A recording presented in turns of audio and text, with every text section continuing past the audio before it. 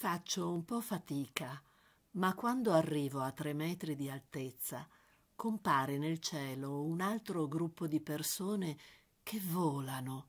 Sembrano venire da tempi passati. Qualcuno tiene pergamene scritte, altri piccoli rotoli aperti, istoriati. Sono molto emozionata. Mi sento come se avessi raggiunto un popolo di cui faccio parte.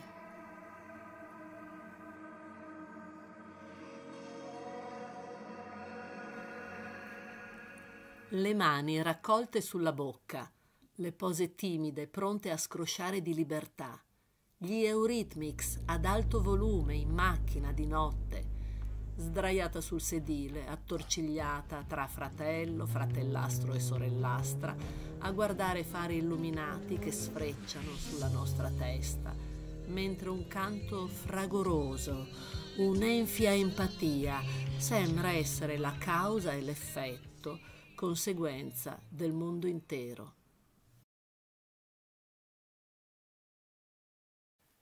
L'ampio corridoio di sabbia univa la vegetazione fitta al tempestoso oceano indiano. A incorniciare l'entrata nelle onde travolgenti c'erano una caverna abitata da centinaia di pipistrelli e un enorme albero degli spiriti.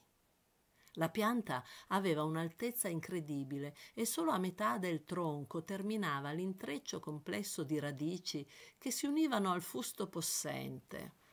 Di notte il vento si infilava tra i rizomi attorcigliati e faceva risuonare la voce dei morti. Giocammo di più sopra il dirupo, su quella terra secca e polverosa circondata dalla foresta c'era un bellissimo albero argentato sul bordo del precipizio. I suoi rami senza fogliame sembravano braccia arcuate verso il cielo, in cerca d'acqua. Era lievemente inclinato verso la spiaggia e a noi piaceva la vista vertiginosa verso il vuoto.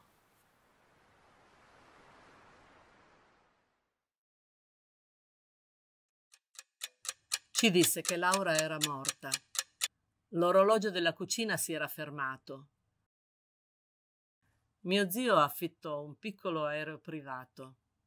Io, il fidanzato di mia madre e mio zio Lodovico, sorvolammo un mare candido di nuvole sul quale le montagne sembravano galleggiare come isole.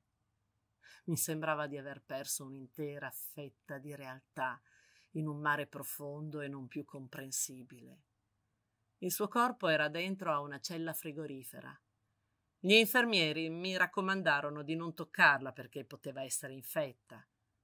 Mi protesi ugualmente per sfiorarla, ma uno di loro mi prese sotto le ascelle e mi bloccò. Uscii dall'ospedale sotto shock. Seguivo quei due uomini che non amavo a un metro di distanza. Quando arrivammo a una fermata del bus, mi sedetti sullo scalino di un portoncino.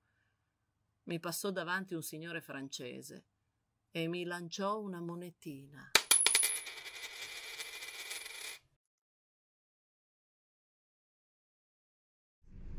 Il pullman era pieno zeppo, ma il cloro e il calore della doccia ci facevano sentire intoccabili.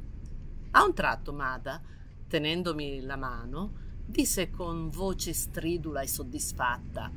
Mamma, nello spogliatoio c'era una donna che aveva le tette ancora più molli delle tue. Credetti di sprofondare. Mi girai attorno, guardando i passeggeri che ci circondavano, ed ebbi la conferma che avevano sentito perfettamente.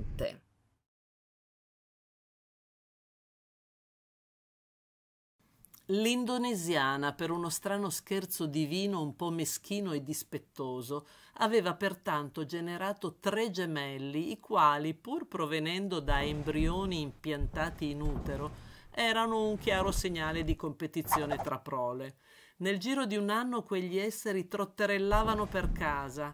Noi due, quando i genitori uscivano per una commissione, raccoglievamo tutti i cuscini in un unico punto del salotto e lanciavamo i bambini dal primo piano, mettendo alla prova il loro destino.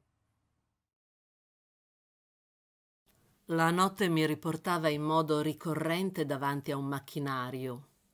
grande quanto una piccola stanza, era pieno di sagome cubiche e conformazioni serpeggianti, avvolte da cavi ignoti su zoccolature metalliche.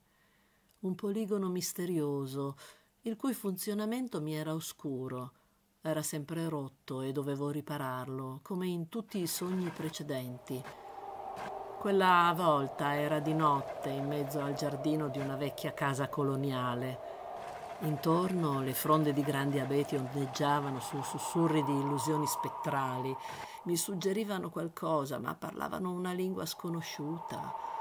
Assorbivo il segreto lentamente per mezzo di un distillato di resina e vita.